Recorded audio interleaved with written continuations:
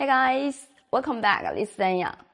This video, I'd like to share with you guys something different. In my previous video, I always introduce for a battery cell that's positive, negative, anti-explosion valve QR code like this way, and for those components all in the same side. And this video, I will show you guys a little bit different The cell is in my hand, that is here. The brand of this type of cell is CATL, and you can see the details of the cell. This is the negative QR code, positive. For the generally speaking, for a battery cell, the anti-explosion valve should be here. But here is no anti-explosion valve. Now, where is the anti-explosion valve? Yes, it's on the bottom here. Here is the anti-explosion valve.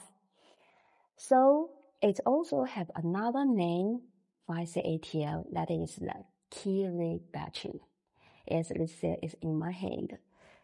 Do you have interest in this type of battery cell? The capacity is 103 ampere hour, 3.7 volt. The size is thickness 73 millimeter. The length is 173 and height is 128 millimeter. The weight of the cell is 1.6 kilogram, so energy density can reach 240 watt hour per kilogram. It is also high energy density.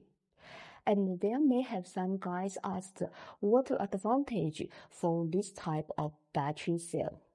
Yes, the, anti-explosion valve on the bottom, on the bottom way. CATL designed the anti-explosion valve at the bottom with the cone being used gravity to guide the directional discharge of hazardous substances.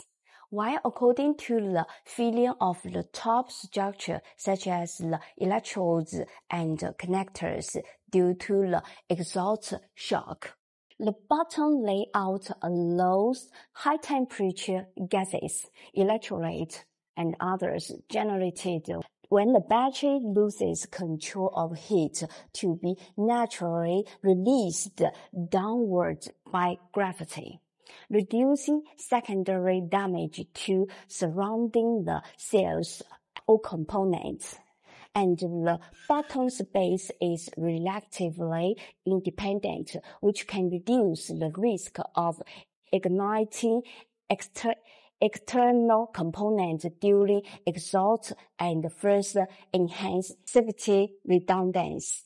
So for this 103 ampere lithium battery of CATL brand, where you choose it? Send us your message and see you next video. Bye bye.